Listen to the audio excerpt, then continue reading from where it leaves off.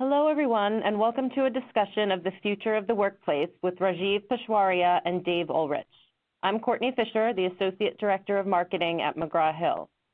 I'd like to start with a brief introduction of our thought leaders. Rajeev Peshawaria is the CEO of the Iclif Leadership and Governance Center and a business leadership and strategy consultant who works with Fortune 500 companies, government agencies, and nonprofit organizations. He served as Chief Learning Officer at Coca-Cola and Morgan Stanley and held senior positions at American Express, HSBC, and Goldman Sachs, where he helped the firm found its leadership academy, Pine Street. His book, Open Source Leadership, came out earlier this year. Dave Ulrich's latest book also came out earlier this year called Victory Through Organization. Dave is the Rensis Likert Professor of Business at Ross School of the University of Michigan and a partner at the RBL Group, a consulting firm focused on helping organizations and leaders deliver value. He studies how organizations build leadership, talent, and culture through leveraging human resources. He has helped generate award-winning databases that assess alignment between external business conditions, strategies, organization capabilities, HR practices, competencies, and customer and investor results. Before, even, before we begin discussing the evolution of leadership and the workplace, could you briefly describe the central philosophy behind your latest book? Rajeev, let's start with you and open source leadership. Okay, thank you, Courtney. I'll try to make this quick in four uh, points. I'll try to summarize the book. The first is the 21st century is defined by two mega trends Uber connectivity and Uber population. So, Uber connectivity obliterates traditional business models at lightning speed, while at the same time enables new ones in which there are hardly any frictions and where marginal costs tend towards zero. Uber population, on the other hand, creates exciting business opportunities. We are going from uh, the current 7.5 billion people to 10 billion people by 2060, giving us that many more consumers and customers uh, to take care of. Uh, but also, it creates daunting and unprecedented challenges for planet Earth in terms of food and water shortages, the gap between the rich and the poor, and geopolitical conflict, to name just a few. So, uh, in light of this background, the key conclusions the book makes, uh, based on ex- an extensive global study, are first of all, given the challenges that the world is facing, leadership needs to be redefined as a burning desire to create a better future and finding long lasting energy to keep going despite formidable resistance.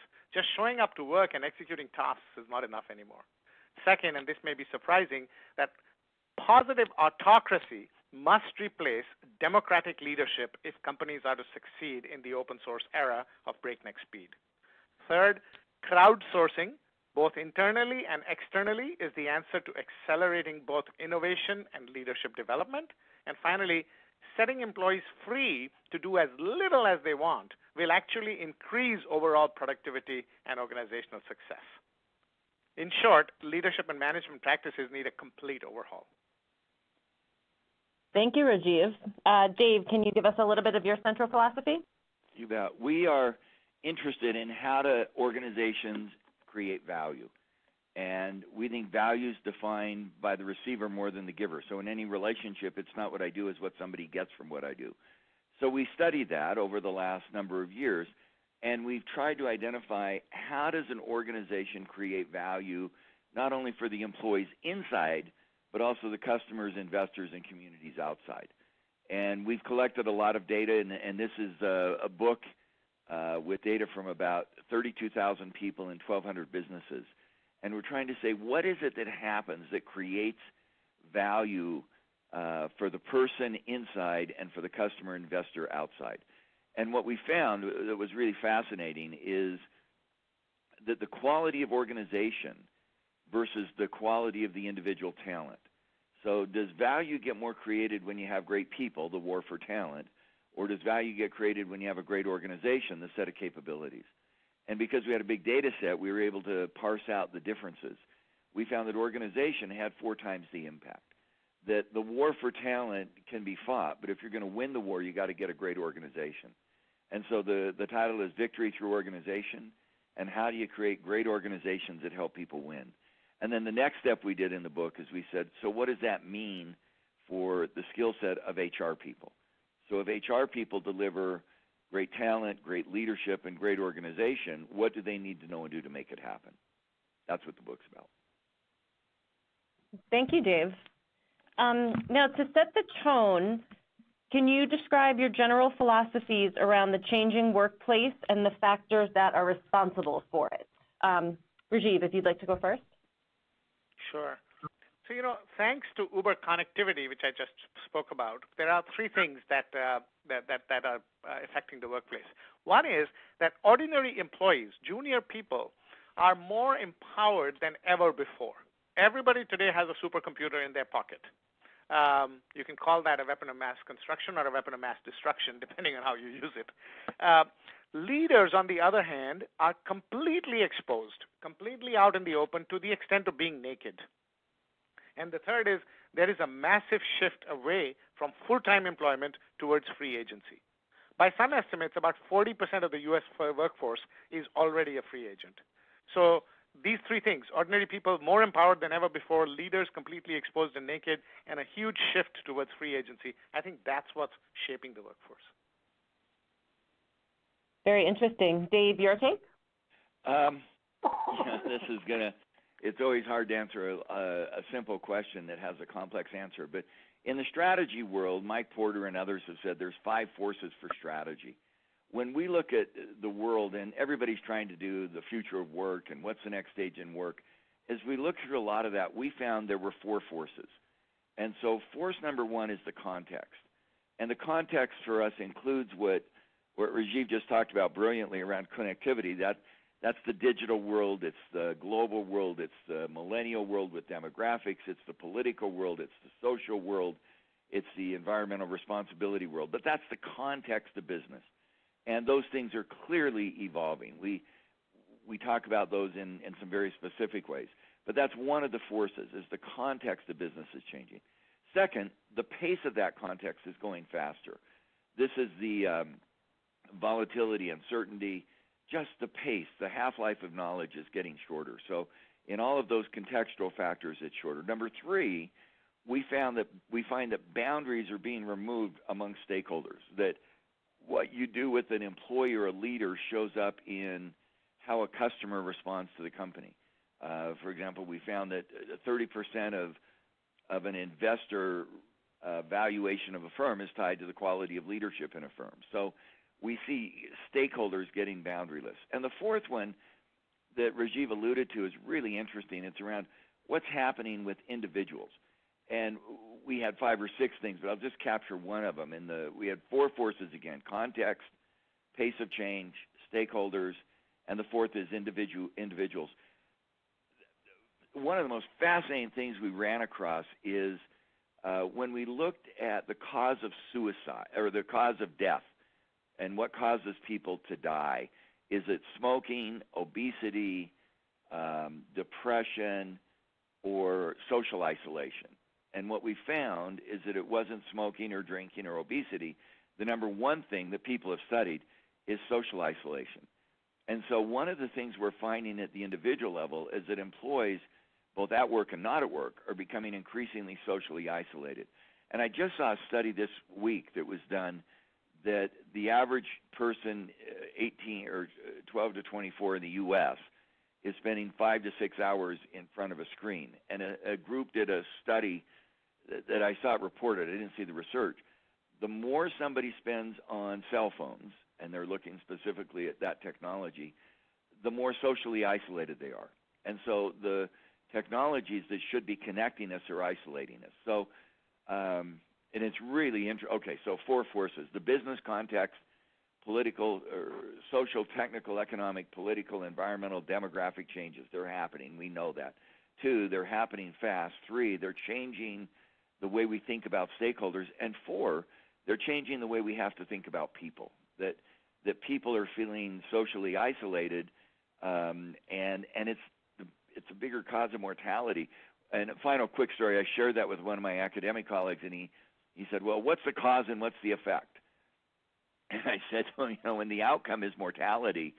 It's hard to get cause and effect unless you have a theology view, and, and somebody can come back from uh, death and tell you what cause and effect is. But but I think those four are fascinating. And The final one on social isolation, which is the individual one, um, and I I was thinking about it and tripped over it in my thinking, but. Uh, we, my wife and I were in Australia in August, and we found a book by a wonderful sociologist who studied uh, teenage girls. And one of the problems of the internet is that when they're on the internet a lot and they post on Instagram or they post on Snapchat, one of the things that does is it leads to suicide. And I kind of alluded to that, so I'll finish that thought. Because when people post, they always post great pictures. Um, I'm assuming, Courtney, the last time you posted, you did not post a picture of you in depression. Uh, you called you me out, Dave. Yes. well, I looked you up. No, I did not stalk you. Do not go there. I'm not stalking you at all. But but we post happy pictures in happy places, and and the woman who did the research said a lot of the teenagers are going, I'm not that happy, and and so we've got to find a way to manage this transparency world that that that helps us find organizations that give people a sense of meaning. Okay, but there are four forces. I'll say them for the fourth time, and maybe they'll resonate: context, pace of change, stakeholders, and then individuation. Thank you, Dave. That's fascinating. On that same subject, do you think we should be scared of the future and where it's headed? Dave, sorry. Oh, is that for me? Oh, sorry, Dave. Yeah, I was just going on your, your last thought. Uh, yes and no. Uh, I mean, um, am I excited about the future? I think we have to live in the future. Well, one of the things we found, let me try to link it to some of the research we did. When we're trying to find, and it'll be fun to see how Rajeev research relates to this because he's trying to redefine leadership.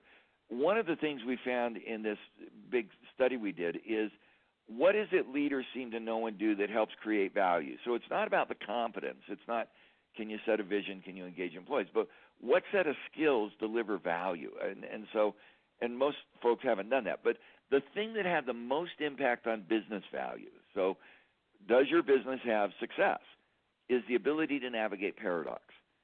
Paradox is a fascinating issue. And navigate, not solve. Everybody says, oh, manage the paradox, fix it. One of the paradoxes is what you just said. Do I live in the past or do I create the future? And our answer would be yes. There is something in the past that you should, as a leader, build on, but you have to create a future for what's next. And it's navigating that inherent tension. And one of the things we found, especially with staff, HR people, those that were good at navigating paradox helped the business be more successful. Got it. They were also not very popular because when you navigate a paradox, you have to raise difficult issues. For example, if your business is um, too consensual. We we all walk alike, think alike. You've got to raise the issue of diversity. If your business is too diverse and everybody gets to do their own thing all the time, you've got to raise the issue of consensus. Well, raising the alternative so that you have paradox and tension does not make you popular.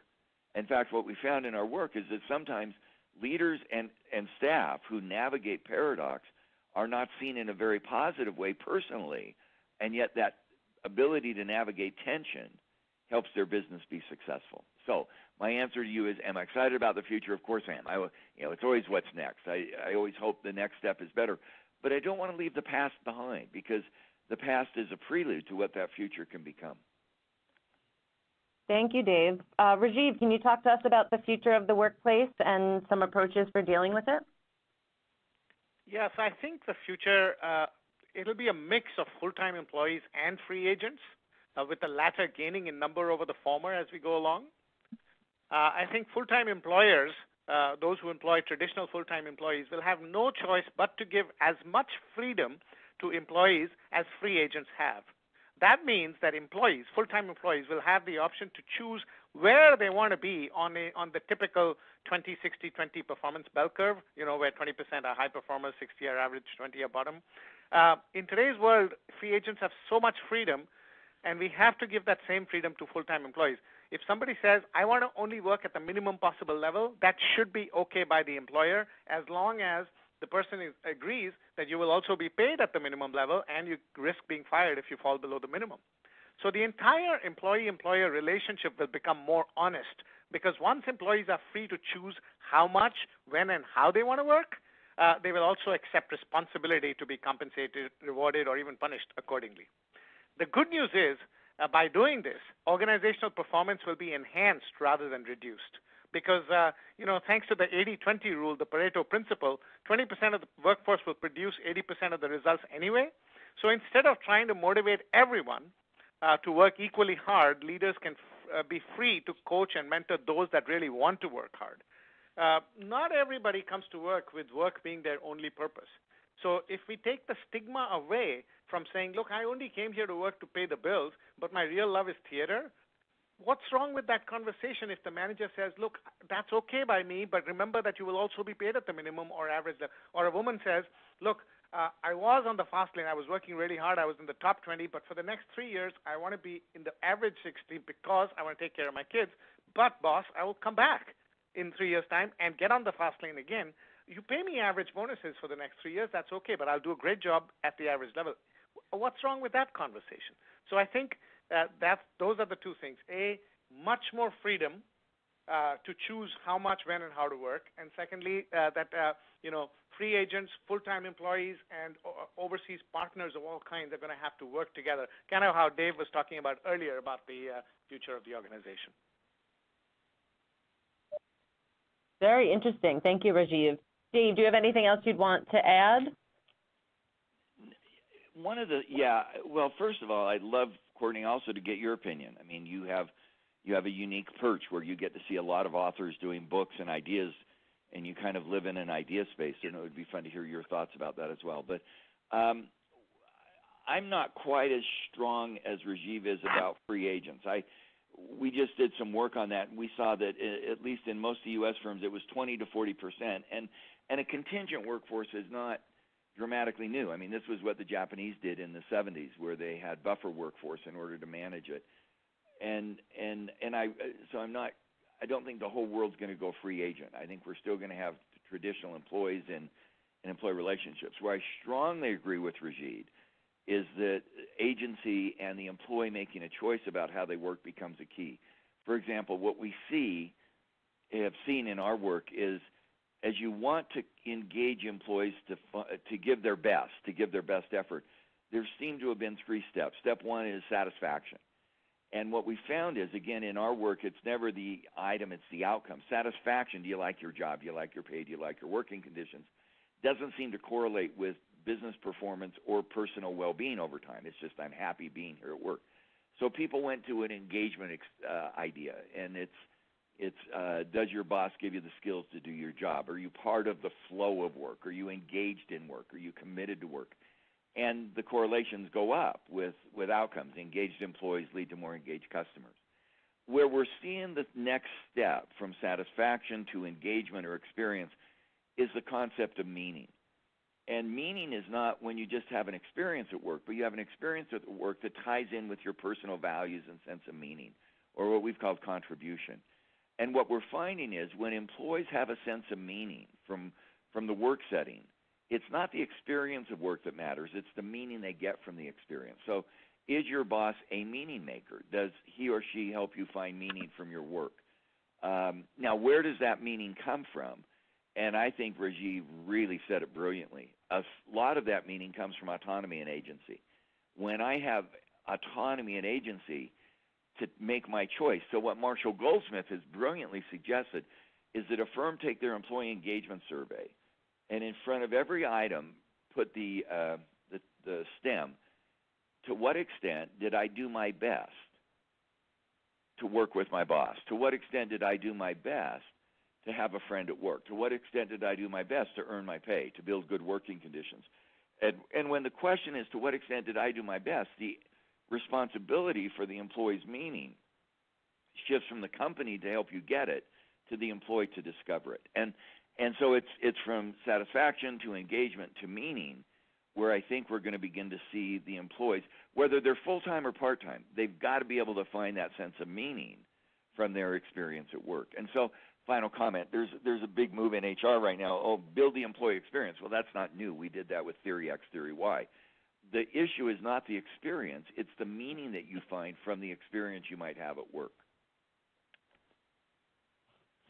Thank you, Dave. This conversation is really fascinating. Um, and I think I, I, really like the conversation putting the onus on people to own their job and their responsibilities. And I think that's something that we've seen in the workplace changing in the past few years, and I think it's an important conversation to keep going. Courtney, so, can I just, much, uh, uh, no, go ahead. Sorry, can I yes, just go ahead, comment here? You know, um, Dave talked about autonomy and talked about employee engagement. It turns out, you know, we all know that the global employee engagement levels, when you look at all the surveys, are pathetically low, right? With, uh, take any survey, and overall it's pretty low. Some countries lower than others. Uh, but you, uh, there was a recent study where they uh, looked at job satisfaction of Uber drivers, and their uh, job satisfaction is 78% globally. Why? Because of the point that Dave made, autonomy. I decide when I want to work. I decide when I don't want to work, and you don't need to tell me that I, if I don't work hard, I don't succeed. I already know that. I am an aware worker in the open source economy. I just thought I'd add that. No, that's it's very interesting, and it kind of makes you take a step back and think about, you know, your your personal decisions at life and wherever you are in the workplace and where you you aim to go. You got it. So, Courtney, as as of the three of us, you're the one of us with a really full time job because Rajeev and I kind of float in and out of this. What what gives you meaning from the work you do at McGraw Hill?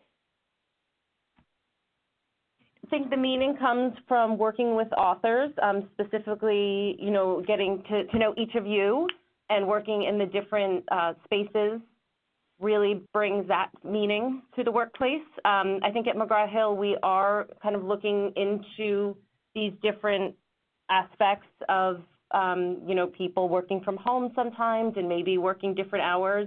And I think that's something that you see, I think Rajeev, you made the point earlier, is when people can make those decisions, they seem to work harder and bring more success to the team. And that's something that I've started to notice as well over the past few years. I would say, you know, there's there's a slight change in the workplace. So these are all issues that I'd like to continue to, you know, be a part of and see happen.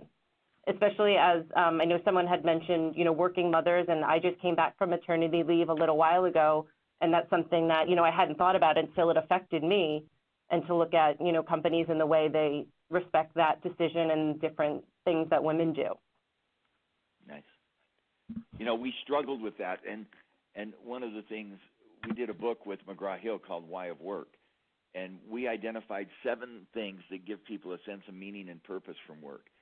And over the last five or six years since that book's come out, I've been been really thinking about that. So as I listen to Courtney to you, it's it's a lot around the relationships we have, it's around the autonomy we have, it's around the identity of the work, and and when we can help business leaders for both full time or part time, it doesn't matter if they're uh, where they are. How do they find meaning from from their transaction or interaction with the work setting? And and I think that's that's a remarkable um, question that I think we're still exploring. I don't have a great answer to it because I think it also varies by person and by time. When I was 25 years old, meaning was getting a paycheck so I could support my family. Now, a few decades past that, meaning is less the day-to-day substance, and it's more probing ideas that will have impact over time. So, I just think, Courtney, you've just laid out a really nice, nice set of ideas. Thank you.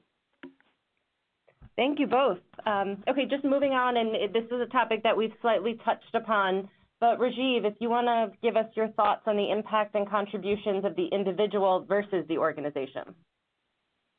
Sure. Well, I don't believe it's a question of individual versus the organization. I think it is and.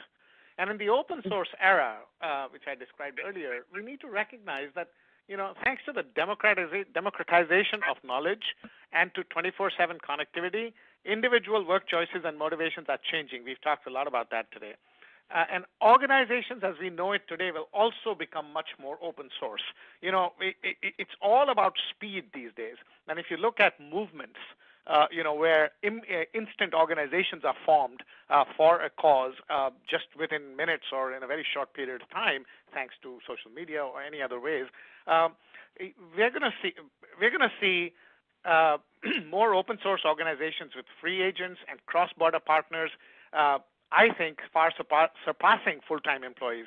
Some people are even predicting the death of the organization in about 20 years. I don't go that far, but I do think that the organization as we know it today is going to change considerably, given that there's going to be three distinct parties involved: free agents, cross-border partners, and full-time employees, with the third uh, getting smaller and smaller. That's at least my opinion. Thank you. Dave, your thoughts? Um, and again, I, if we knew the future, we would uh, we would be investing perfectly. I'm not sure I know the future. I, I, we did the research, and it was just for us breathtaking and fascinating. That when you look at individual skills, and because we had 32,000 people across 1,200 businesses, we could get the skill set of the individuals. And then when you looked at the 1,200 businesses, the capabilities they had as an organization, speed is one of those capabilities. We found there were actually four or five that were critical. Uh, the number one was external sensing, the ability to understand external data and bring it inside to the company was the number one predictor of business performance. Managing a culture, managing speed, managing customer, and we we we did the partition. Which one has the biggest impact on business results, both short term and long term? And we found that it was four to one organization. And and then we started looking at sports teams. How often is the leading player on the team that wins the championship? And in basketball, a team sport, it was 20% of the time. The leading scorer is on the team that wins the championship. In in um, soccer, 20% of the time, the person who wins the Golden Boot in the World Cup is on the team that wins the championship. We found it in movies. 20% of the time, the winner of the leading actor actress Academy Award is in the movie uh, that wins the uh, the movie of the year. Our sense is that individuals matter. You you got to have good people, but organization matters more. And how do you create the right organization, which is it has to do with the capabilities like culture, speed, collaboration, innovation, customer centricity that allow that organization to become more than the individual parts. And and that's that's the work we've done. What's really interesting, there's an economist named Oliver Williamson who won the Economics Nobel Prize. He said you have markets, which are basically organizations comprised of free agents. And he talks about market failures if you go too far down that path for a couple of reasons. Then you have bureaucracies, which are hierarchies governed by rules.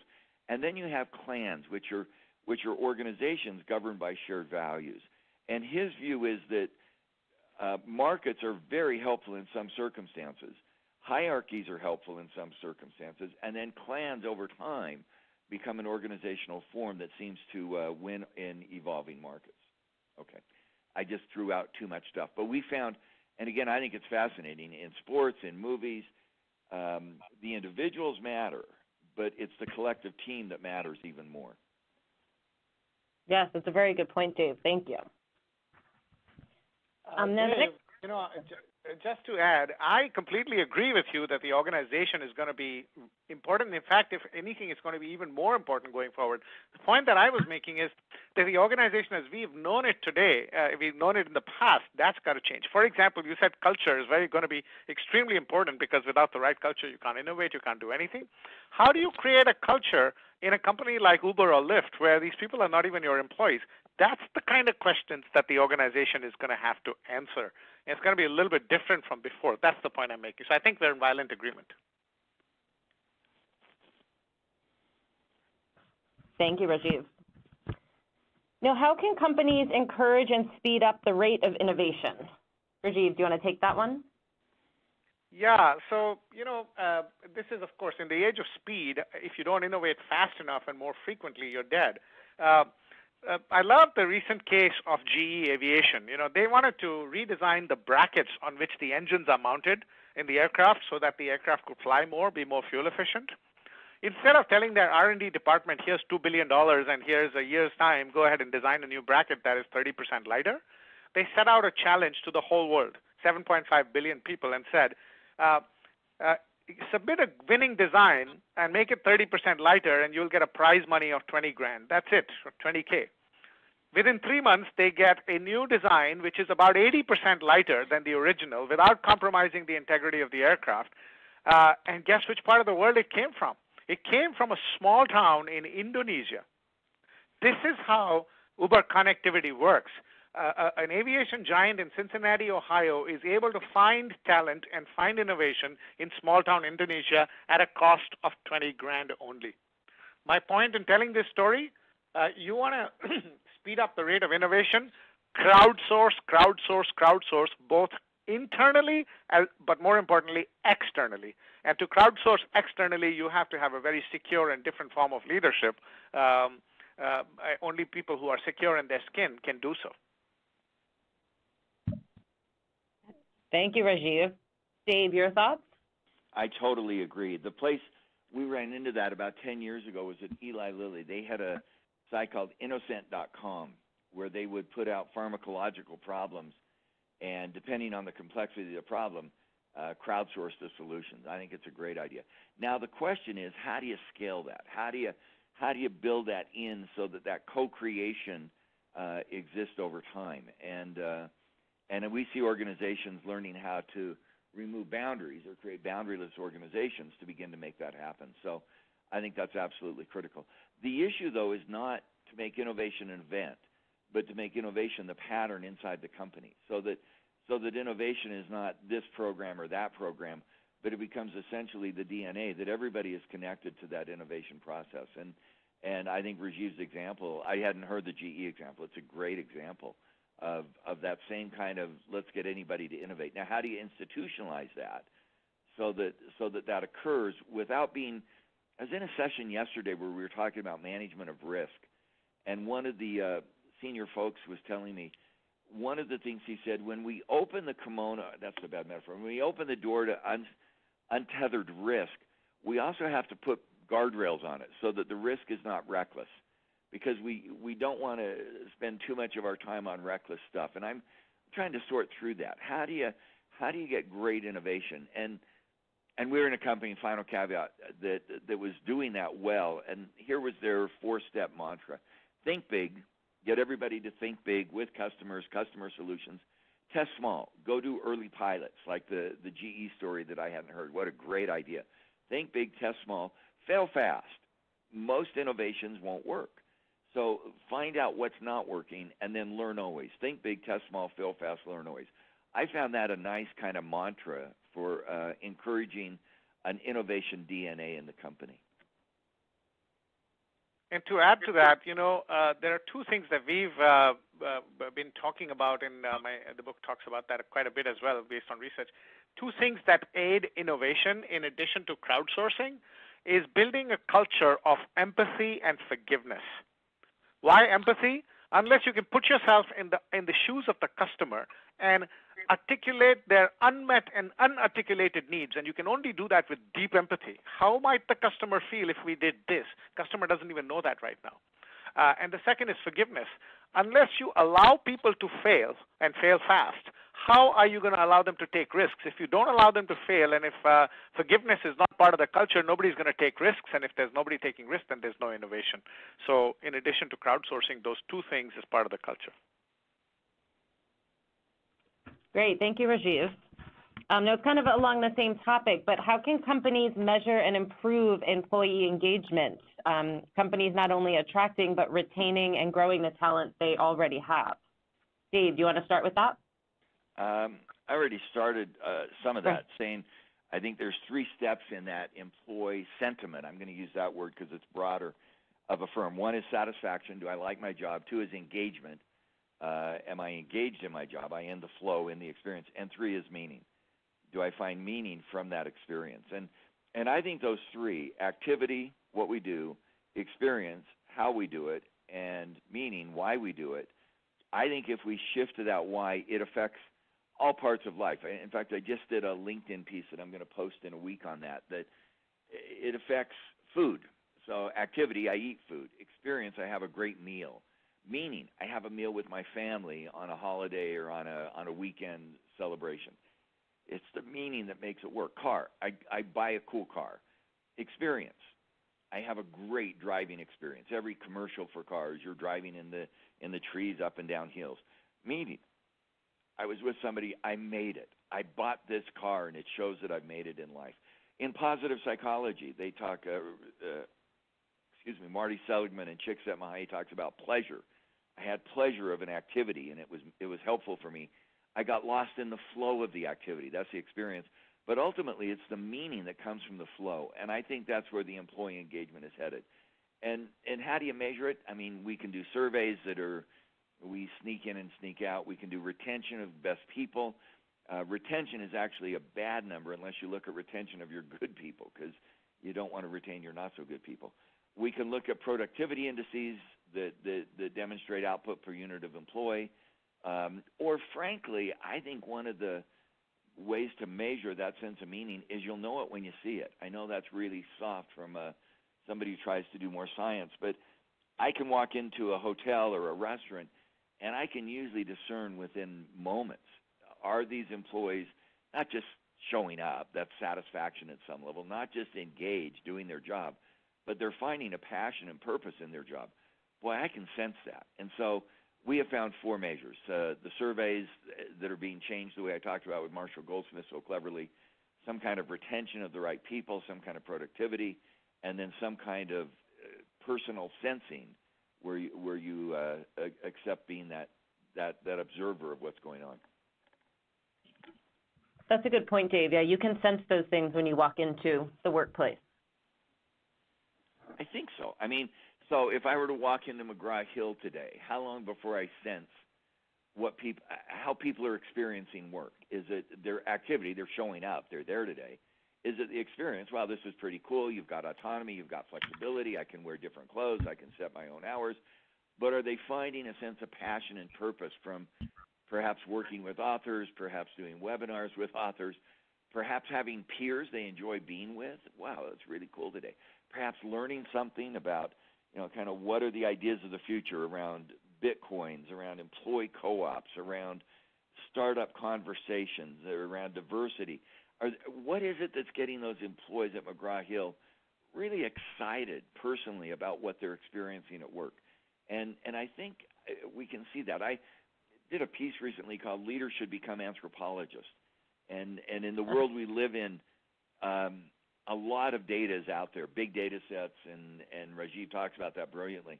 We're connected through lots of data. We have unlimited data in the cloud.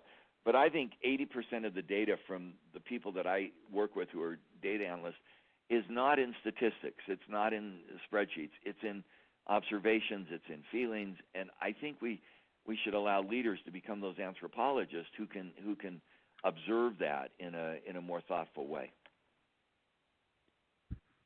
Rajeev, your thoughts? Yeah, you know, employee engagement is a is a big, big, big topic. So allow me to make two points here, uh, and they might sound strange in, initially what I'm about to say, but let it sink in. The first is my strong belief, based on years of looking at this topic, is that nobody can motivate another person. This idea that management manager or organization has the onus or the burden to motivate and engage employees, I think is something that we really need to think again because everybody is already pre-motivated by their passion and as Dave said, their purpose, their sense of meaning.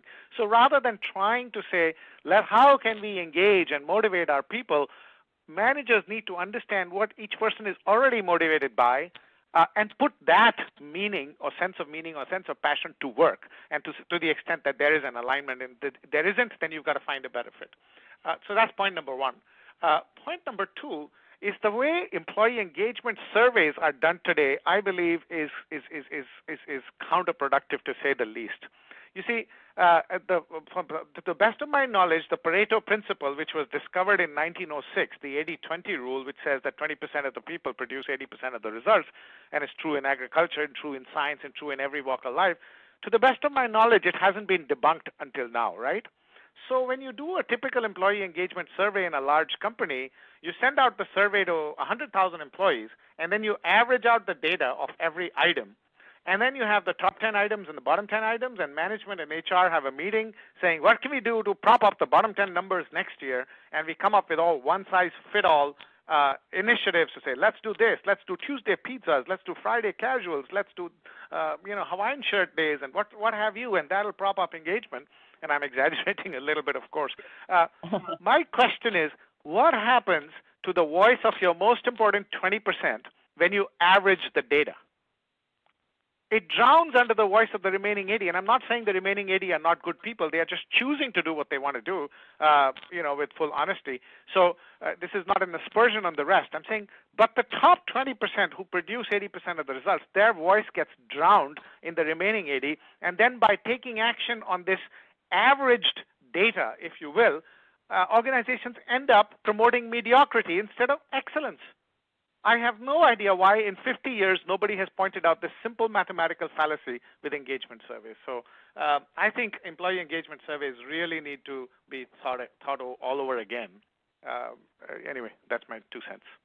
No, that's very interesting. I don't mean to put you on the spot, but do you have any ideas as to a few changes to make to them to see it be more productive? I um, uh, strongly recommend to our clients that don't do employee engagement surveys the way they are done right now. Uh, instead, build a culture of belonging, uh, a strong culture where people can, as Dave was saying, find meaning. Uh, and, and to measure whether people are, are feeling that sense of belonging, it's better to do a values-based 360 than to do a employee engagement survey. Uh, but if you must do an employee engagement survey, uh, then at least do it, collect the data in a segmented way. Uh, Dave mentioned that we live in the age of big data, right? So HR already has the data as to who are the top performers, who are the middle 60, who are the bottom 20. Ask all three segments separately the same questions because the needs of all three segments are different and you need to meet them. You still need to meet the needs of the middle 60 and the bottom 20 because they're important as well. Ask them separately. By averaging it, you're killing it for everybody. No, sorry, just asking another question. Do you think if there isn't, if the individuals don't feel that culture of belonging, that it's on the individuals to make the change, or is it on the um, company to notice that and work from that? So again, as I said earlier, you know, it's it's it's and it's not either or. Uh, I, I, you know, uh, the organization has to do its bit and the individual has to do it. But you're right. At the end of the day, you know, the question I get asked a lot because I talk a lot about values and purpose as the inner uh, sources of leadership energy. So a question I get asked a lot by people. Uh, which surprises me every time it's asked is because the answer is so simple is what if my personal values don't align with the corporate values my answer usually is well how big is the discord is it small cha- things that you know you wish that things were different from a corporate values perspective and culture perspective, and you can you live with it, and otherwise you're happy with your job? Well, then continue to do so and try to make a difference. But if it's so bad that you can't sleep at night, then you know the answer. You got to quit. You got to go somewhere else. Dave, what do you think? I'd agree with that completely. Uh, I, I I said there are four ways to track employee engagement. There's probably seven or ten. Um, one is retention of your best people. Another is the the productivity, because uh, the better people should be productive. Surveys are a piece. Uh, my sense is what we're seeing is more pulse checks, not big annual surveys. Uh, I like Rajeev's Pareto analysis. 20% of the questions explain 80% of the results. So, so why are we asking 80 item surveys? Why not ask 12 item surveys that explain most of the results? Short questions done quickly. Uh, you don't.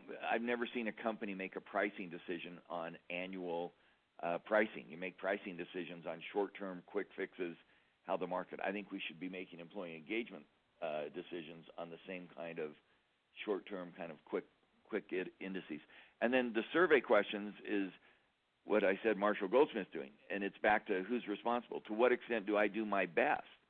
And I think the responsibility ultimately is shared between the organization and the person but ultimately at the University of Michigan, I'm responsible for my commitment. I'm and Rajeev says that has said this about five times, and he says it brilliantly.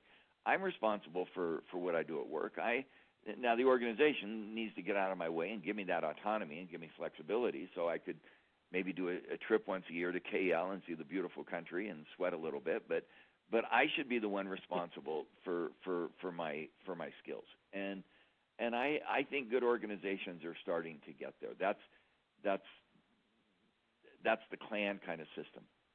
I have a question for Rajeev. Rajeev, you have been around Pine Street. You've been around all these great companies that have invested in leadership. If you were, and you run a leadership institute in one of the most exciting parts of the world, in not just KL but in in, in Asia, what are some things leaders need to? If you were building a lead, uh, well, I'm not saying this very well, but if a company were investing in building better leaders, because no question, leaders at all levels of the company. This isn't the senior executive, but all the way through. What are a couple of things you've learned over the years that would help build better leadership within a company? And and again, you've you've seen the institutional effort that Pine Street did with people like Steve Kerr and you who were just brilliant folks. You've also seen other companies. You've been in a lot of companies. What can be done to help build this leadership requirement that a company has? And I'm yeah, sorry, Courtney, I just Courtney, I just wiped you out on a question, but That is Rajeev just quite has- all right, Dave. That's where we were going. I like well, it. Rajeev, Rajeev has such a great background. I, boy, I wish I could be an observer of his history, uh, and so I'm trying to do that. What, what would you learn? You, you're too kind, Dave. Uh, so, you know, first of all, uh, we really need to look at what the word leadership means. We need to stop confusing it with followership. Uh, I, people are surprised when I say that. What do you mean by confusing leadership with followership? Because the two are totally opposite. But uh, check, get this. Parents, as parents, don't we love our children when they listen to us and obey? And don't we sort of, you know, discipline them when they don't? Similarly, teachers, who are the teachers' pets in school and college? Those that follow the instructions most closely. And then in the boardroom, when a CEO uh, sort of, you know, uh, presents a brand new vision and strategy saying the world is changing, we need to change, approve this investment, we've done all the research, the first question the board asks is, where is the McKinsey report that shows that 10 best practice companies have already done it? If they've done it, you can have your investment. So all of these, parents, teachers, boardrooms, they are encouraging followership in the name of leadership. Best practice is not leadership. Uh, you know, whacking a child into submission and then giving him candy is not leadership. Uh, teachers rewarding pets who are following most closely is followership. So the first thing is we need to stop uh, confusing leadership with followership, and that's the the biggest cancer in this uh, whole uh, leadership development industry. Second, we need to understand, excuse me, that leadership is not a position or title that enables you to get work done through others. Uh, you know, the moment somebody wins an election, we call them the leader of the country. The moment somebody is appointed CEO, we call them the leader of the company. Now, is leadership a verb or is leadership an adjective? Leadership is not a title. Leadership is what you do. Excuse me. And uh, so once we get clear that it's not these things, what is leadership? Leadership is a burning desire to create a better future. You don't have to be a big senior person to be a leader. You have to close your eyes and imagine the better future that you want to create in whatever little circle of influence that you have. Uh, that's leadership. The problem, and this is the last point I'll make, the problem is the moment you see life that way, that I want to create a better future, you get resistance as soon as you get started from all corners of the world.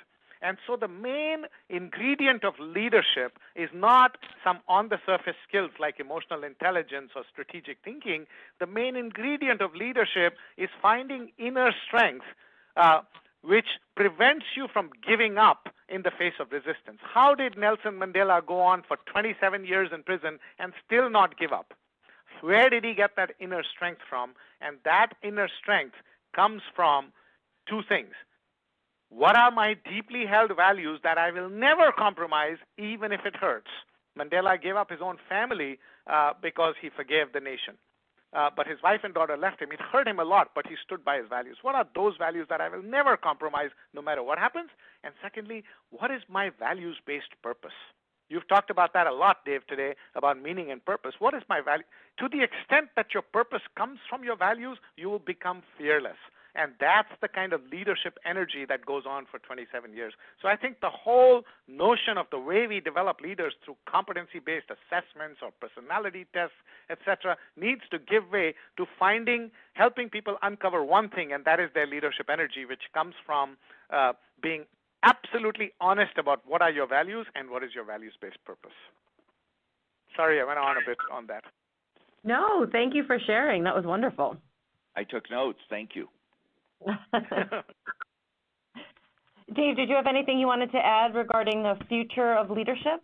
No, we. Uh, the reason I asked Okay. is we have been writing a lot about leadership is not about the leader; it's about the value the leader creates in others, which is the same kind of idea. In fact, we've been saying that uh, leadership authenticity, if it doesn't help somebody else get better, is not really good leadership. And and so we've written a lot about who are the people or stakeholders for whom you as a leader create value.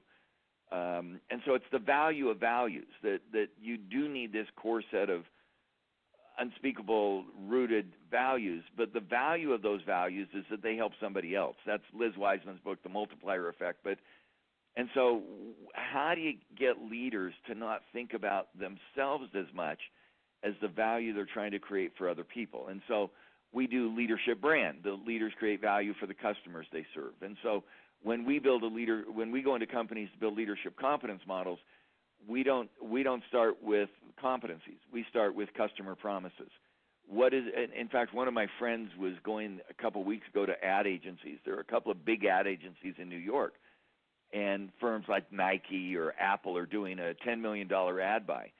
And we're getting him to pitch them if you're going to do a 10 million dollar ad buy where you position Nike or or McDonald's or somebody or General Motors or Ford, why don't you add $500,000 to that buy? And whatever the ad agency chooses, however the ad agency chooses to position the firm in the marketplace, that external branding, that $500,000 should be around leadership competence. So if we're running Pine Street, we should be training our leaders in Pine Street to behave against the promises we make our customers. I think it's that's for invest that's for leadership brand. We've done leadership capital with investors, the same kind of thing. Are we building leaders that our investors will have confidence in? And what's fascinating to me is this is showing up in the work on social consciousness that that investors, uh, long-term investors, not short-term day traders, long-term investors want to build a relationship and, and leaders who have underlying values. So I'm I'm agreeing around. It's not it, the values are so critical, and then it's the value of those values as we try to go the next step. Thank you both so much. We received a few questions, so I just, uh, in the next few minutes, hope we can answer a few. Um, the first one is, if 40% of the workplace are going freelance, is that where employees should be looking in order to advance their careers? Rajeev, do you want to take that one? Sure. Well, it depends on uh, it depends on what you want to do. The key thing is to is to reflect on who you are. Why am I here? Who am I? what do I really want to do? Talking about where is my leadership energy coming from? What are my values? What is my purpose? And then think about what the what the vehicle or the route of delivering that is. you know, Satya Nadella, the CEO of Microsoft, recently said very beautifully. Uh, you know, people say that I come to work for Microsoft. He says. He says, what if we could change that equation to say Microsoft works for us? Can people come to Microsoft and use Microsoft as a platform to deliver their passion uh, to the world and make the world a better place using Microsoft as a platform. So that question comes second, whether I want to be a free agent or whether I want to work for a full-time company. The more important thing is what is my what are my my values that I will never compromise and what is my purpose and then choose your vehicle. Great, Dave.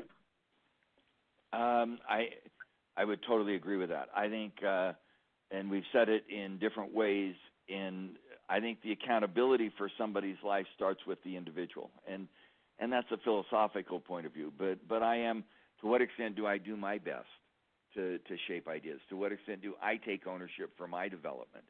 And I think when we when we become dependent on a company, we become enfeebled, not empowered. And we totally agree with that. Very true.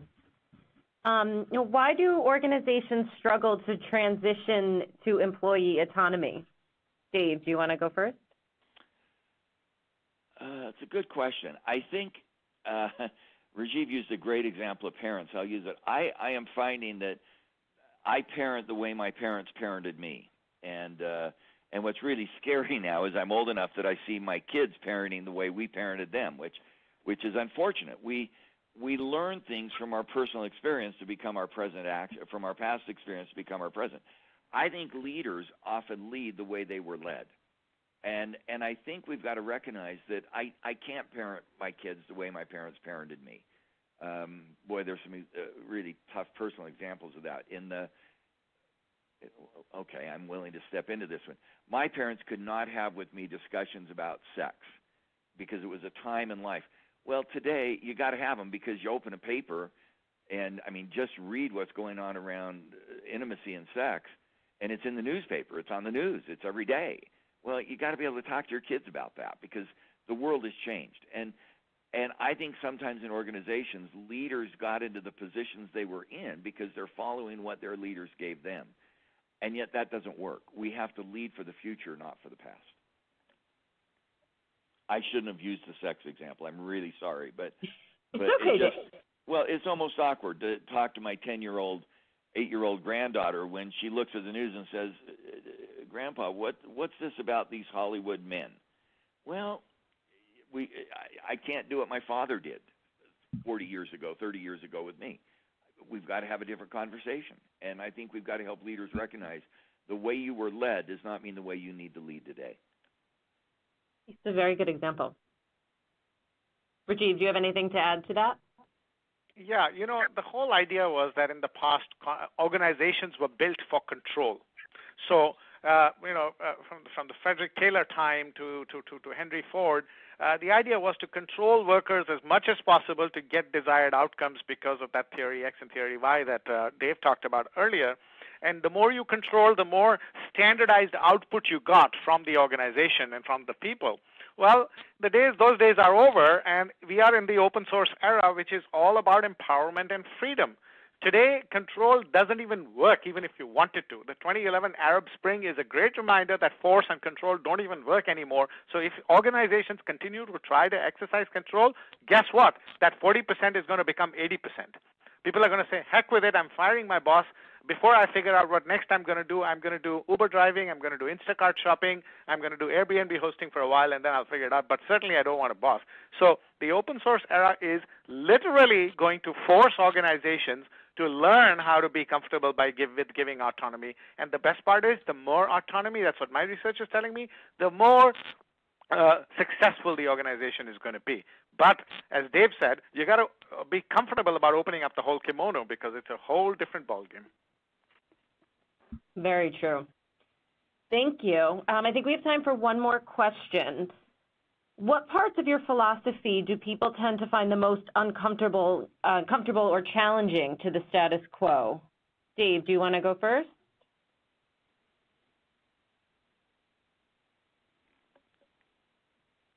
Or Rajeev, are you still on the line?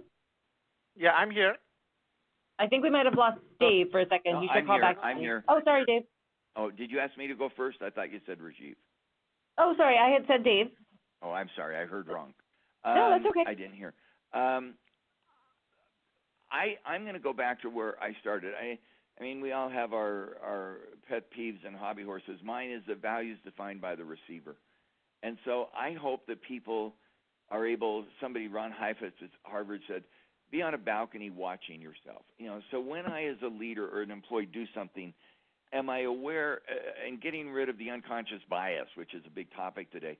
Am I aware of my biases so I see how my behavior might be impacting others? Am I getting out of my choices the outcomes that matter most to me? Uh, am I aware of the value I'm creating for other people? Who are they? What do they want? And I won't do this long because we're out of time, but uh, Rajeev has used the word culture about seven or eight times today, which I love. But I think most of our definitions of culture are very internally focused.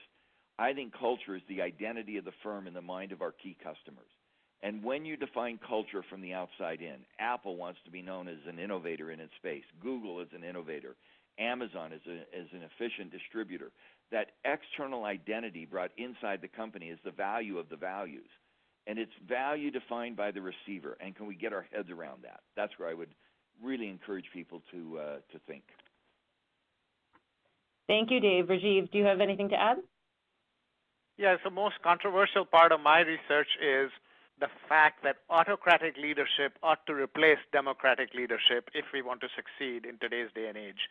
Uh, and uh, before people jump on that, we asked uh, you know people in 28 countries across the world, and uh, from east to west, we took uh, 28 countries with a statistically relevant sample in every country, and uh, the data clearly says that people prefer autocratic leadership to democratic leadership, and in the age of speed, that's what's required.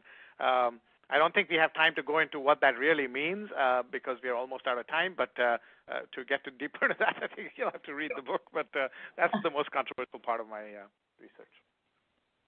Great, thank you. Thank you to you both. This was a very interesting conversation, and I think, Rajeev, to your point, we might have to have a follow-up to keep this conversation going and thank you to everyone for attending the Future of Work webinar. Be sure to pick up your copies of Open Source Leadership by Rajeev Peshawaria and Victory Through Organization by Dave Ulrich.